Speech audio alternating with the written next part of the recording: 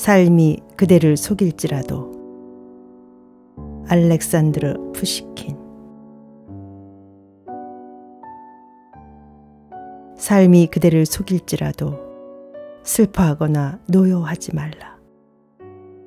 슬픔의 날 참고 견디면 기쁨의 날이 오리니 마음은 미래에 살고 현재는 늘 슬픈 것. 모든 것은 순간에 지나가고 지나간 것은 다시 그리워지나니 삶이 그대를 속일지라도 노여하거나 서러워하지 말라.